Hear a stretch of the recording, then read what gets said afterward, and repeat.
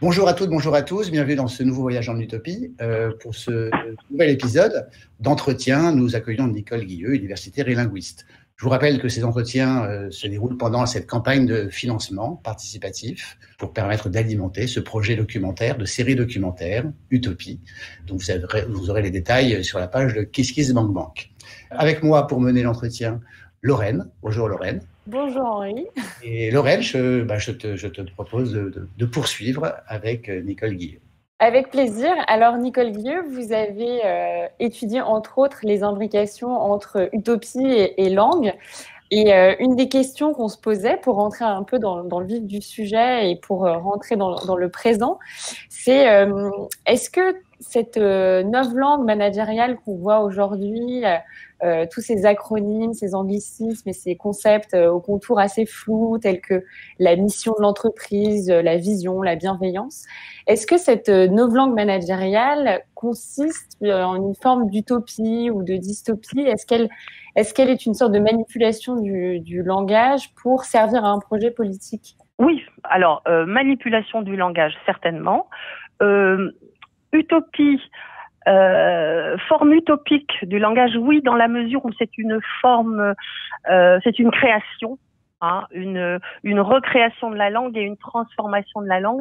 Mais je dirais que plutôt que si on devait utiliser le mot utopie, il vaudrait mieux employer le, son contraire, qui est dystopie. On est plutôt dans la dystopie, mais dans la dystopie qui est dans la vraie vie, qui est ancrée dans la vraie vie, alors que on pense euh, utopie et dystopie en ayant euh, en vue des fictions. Vous voyez, et là, on n'est pas dans la fiction, malheureusement, dirais-je. Et en quoi est-ce qu'elle constituerait une forme de dystopie euh, de, de, manière concrète euh, Eh bien, parce, eh bien, parce qu'elle manipule les gens. on, retrouve, si vous voulez, des caractéristiques qui sont très proches de celles que Orwell décrit dans 1984 avec la novlangue. On a une réduction du lexique, une espèce de contrainte qui est euh, imposée à tous les gens à qui on, avec qui on communique par le biais de cette forme de langue. Hein, donc euh, il y a là quelque chose qui est de l'ordre du politique. Oui, est-ce que est-ce qu'on peut considérer par conséquent que, que la langue est, est, un est un outil au profit d'une d'une entreprise politique, une transformation du réel? Oui, oui, oui, oui. Disons que la langue, euh, la langue est ce qu'on en fait? Aesop avait bien dit que c'est la meilleure et la pire des choses. Ça permet de lier les gens les uns avec les autres, de converser, d'entrer en relation humaine importante et profonde. Et en même temps, on peut créer de la dissension, on peut créer du pouvoir avec le langage et blesser les autres les mots sont véritablement, et ça, ça traîne dans toutes les civilisations, et même c'est dans la matérialité des langues, hein, euh, les langues sont des, les mots sont des outils, peuvent être des, comme des pierres qui blessent les autres, et quand on manipule bien le langage, on peut manipuler la pensée. C'est-à-dire que si on dit qu'il faut employer tel et tel mot, et que tel autre est hors d'usage, ne doit pas être employé, qu'il est tabou, ou qu'il n'a pas de sens, eh bien, on impose à ce moment-là une vision du monde parce que à travers la langue se véhicule naturellement une vision du monde. Quand il y a un pouvoir qui veut imposer une régulation de la langue, eh bien, surtout par l'intermédiaire des médias modernes, eh bien, on a quelque chose de, dramatique sur le plan de l'autorité et de la, de la mise sous clé des esprits. Et a-t-on des exemples concrets de telles manipulations linguistiques dans le passé euh, à des fins politiques? Euh, bien sûr que la rhétorique euh, qu'on observe euh, dans le, le, monde antique, puisque c'est à peu près la seule civilisation que je connais un peu, et notamment en Grèce ancienne, la rhétorique a formaté les esprits. Et donc, c'est ce contre quoi, par exemple, se bat euh, Socrate. Socrate qui va sur la place publique où se promènent les citoyens et qui leur pose des questions. Tu vas pouvoir me dire ce que c'est que le bien pour toi, etc. Et puis de question en question, il arrive à montrer aux gens qu'ils disent n'importe quoi. Donc ça veut dire, ça veut dire en, en transparence que ben, le, langage formaté de la rhétorique pouvait induire des pensées qui étaient limitées et, un formatage aussi de l'esprit. Donc, euh, on a, on a un peu parlé de la, de la langue comme outil politique. Euh, vous mentionnez également dans vos travaux la langue comme utopie en tant que telle. Euh, qu'est-ce qu'est une langue utopique? Et est-ce que vous avez des exemples concrets de projets de, de langue utopique? Des langues qui sont créées pour finalement effacer la malédiction de Babel. Ce sont des langues, les langues de communication internationale, on dit aussi langues auxiliaires, conlangues, etc. Des langues comme l'espéranto ou un petit peu avant le volapük et des tas d'autres, il y en a une quantité. Ces langues-là sont des langues utopiques qui essaient de se donner les moyens de communiquer entre tous les hommes. Hein. Mais euh, ce sont des projets qui sont admirables, je trouve, mais très difficiles à mettre en œuvre.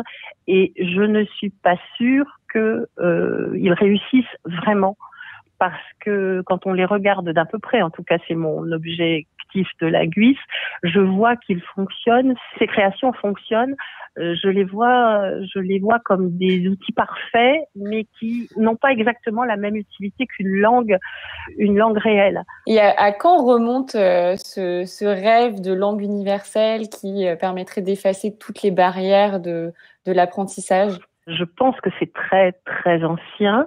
Au début de notre, enfin de, de, notre ère dite chrétienne, dans les années 200 euh, environ, euh, un, le médecin galien qui a, dit-on, euh, essayé de créer une langue universelle pour que tous les hommes puissent s'entendre à tous les sens du terme, qu'ils puissent se comprendre et qu'ils puissent ne plus faire la guerre. C'est en général un très commun des motivations de, des gens qui créent des langues universelles. faire en sorte que les, les disputes, les dissensions disparaissent. Et je pense aussi que euh, dans les sociétés comme la société hébraïque, il devait y avoir ce regret de ce que les langues, les hommes parlent des langues différentes, puisque avec la diaspora euh, des Juifs, évidemment, chacun s'est mis à parler une langue locale qui pouvait être teintée euh, d'hébreu, bien sûr. Hein. ce sont tous euh, des langues, langues comme le yiddish ou comme le judéo-espagnol. Ce sont des langues qui ont un ancrage dans la langue du pays. L'allemand pour le yiddish, euh, l'espagnol pour le judéo-espagnol, etc. Et on, a certainement un regret de ne pas pouvoir parler tous ensemble l'hébreu. Et d'ailleurs, cette utopie, elle a été réalisée, faire revivre l'hébreu en tant que langue vivante, elle a été réalisée lors de la création de l'État d'Israël. Et, euh, pourquoi, à votre sens, euh, les projets de, langue universelle euh, que vous mentionniez, comme l'espéranto, n'ont pas, pas vraiment pris au sein de, de la société? Pourquoi est-ce qu'ils sont voués à l'échec? Est-ce qu'ils sont voués à l'échec, d'ailleurs? Alors, je ne dirais pas qu'ils sont voués à l'échec, parce que les espérantistes ou les locuteurs de Volapük sont quand même assez nombreux. Ils se comptent mm. en, millions de locuteurs. Mais euh, si vous voulez, ça n'a jamais pris au niveau des États. Pour des raisons, moi, qui m'échappent un peu, je dirais que euh, chaque État, tant qu'il y aura des États, chaque État tient à sa langue, à sa culture. L'abandonner, c'est aussi abandonner des pans de ce qui fait son identité.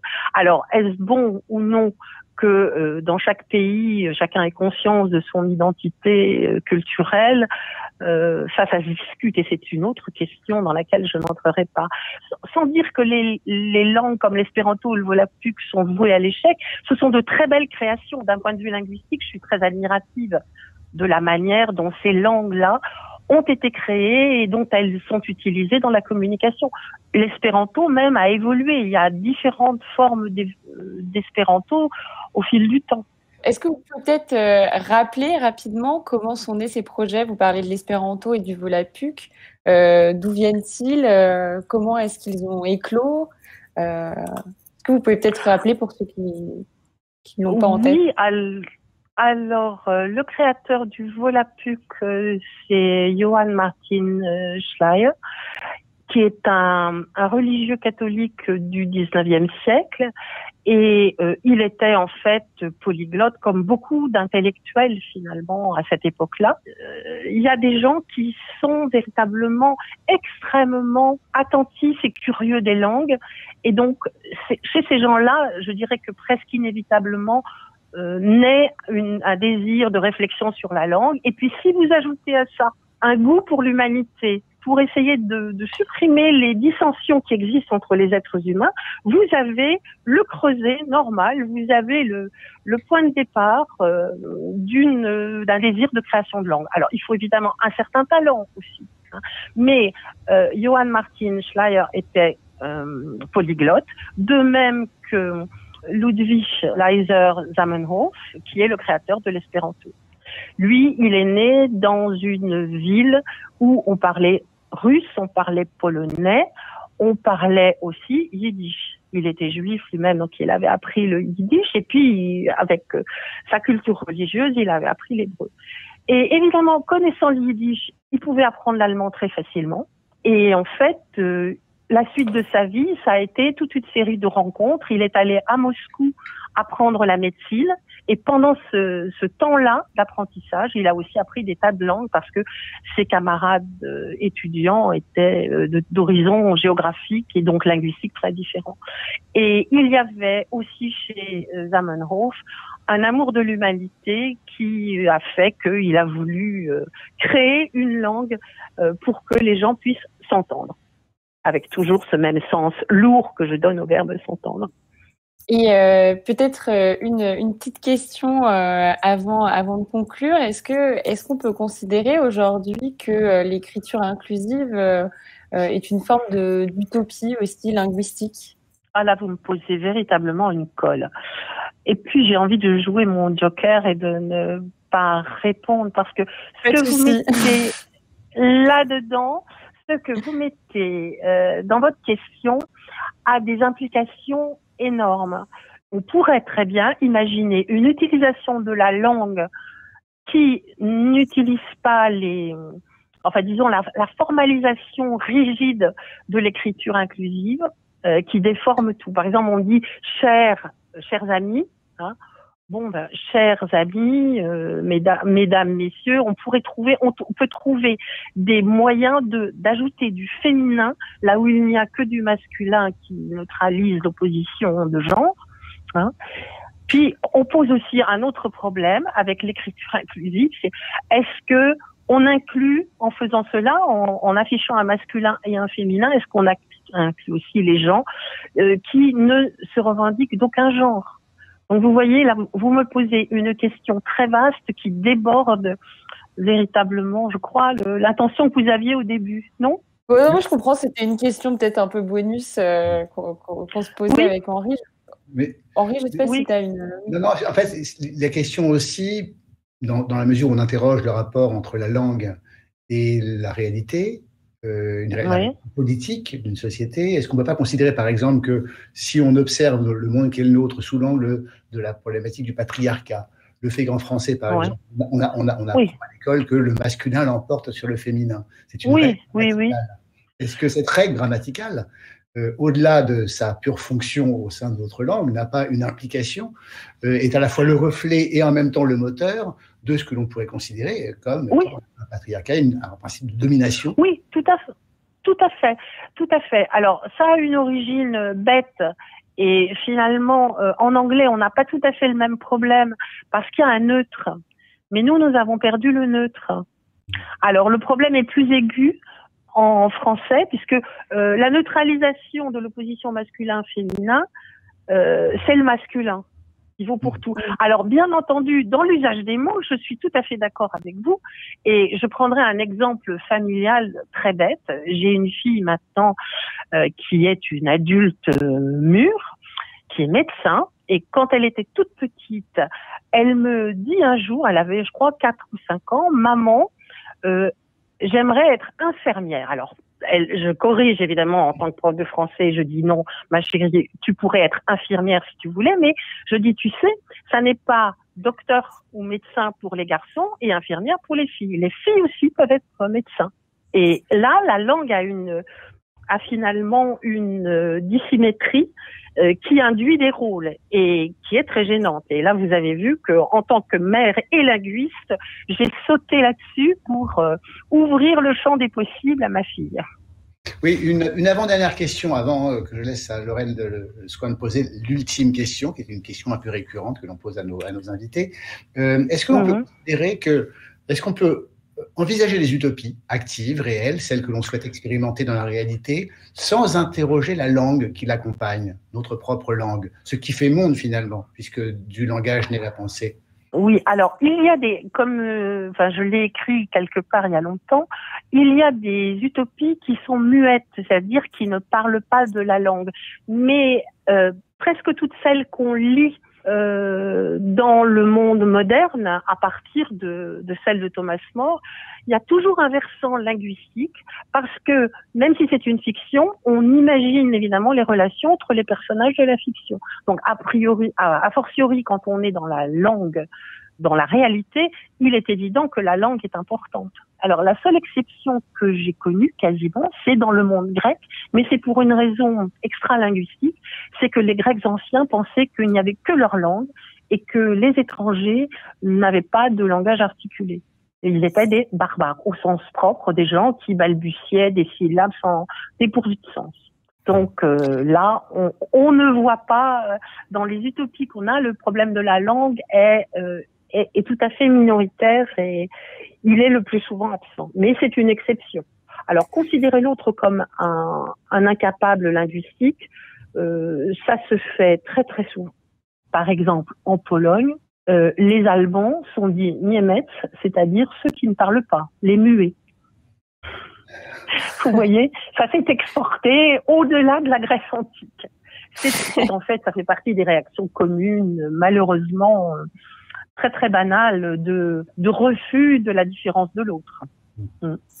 Pour reboucler peut-être euh, avec notre, euh, notre projet de série documentaire sur les utopies, mm. euh, une petite question en, en, guise de conclusion. Est-ce que votre travail en tant que chercheuse autour des langues a changé d'une manière ou d'une autre le regard que vous portez sur le monde d'aujourd'hui? Et est-ce que ce travail euh, a fait émerger d'une manière ou d'une autre des formes de rêve, euh, des formes d'utopie quelconque pour vous. Euh, Non, je crois que ces rêves d'utopie, je les avais déjà. J'ai toujours été fascinée par, par l'architecture utopique, le palais du facteur cheval, les salines d'Arc et Senan, ou bien même le château de, de Chambord qui est, qui est en fait une utopie incomplète c'est encore plus intéressant, plus amusant. Et puis non, pour le reste, euh, pour le reste, moi je suis, je suis tombée dans les langues et la frustration en même temps quand j'étais enfant, hein, dans un milieu bilingue où je n'ai pas eu le droit d'apprendre l'autre langue. Donc, euh, mon utopie à moi, c'est d'apprendre de nouvelles langues au fil du temps. La dernière en date étant le mandarin, et là, c'est vraiment quelque chose de très très difficile, le chinois, et de très dépaysant aussi. voilà. Écoutez, merci beaucoup euh, Nicole Guilleux d'avoir euh, pris ce temps pour euh, discuter avec nous de toutes ces imbrications qui sont passionnantes entre, entre langue et utopie. Merci Nicole Guilleux, merci beaucoup. Merci Lorraine, merci à toutes et tous. Eh ben, merci à vous aussi de m'avoir demandé de m'exprimer. C'était un plaisir. Et puis, euh, rendez-vous pour de, prochains, de prochains voyages en utopie euh, qui vont continuer à, nourrir cette campagne de financement participatif d'une série documentaire qui, elle, s'intéressera à des utopies actives dans la réalité, aujourd'hui et maintenant, mais dont nous nourrissons l'enquête par le biais de ces, ces, entretiens passionnants. Merci encore, Nicole Guillaume. Merci. Je vous en prie. Merci à vous. À vous tous. Merci. Au revoir. Merci beaucoup. À bientôt.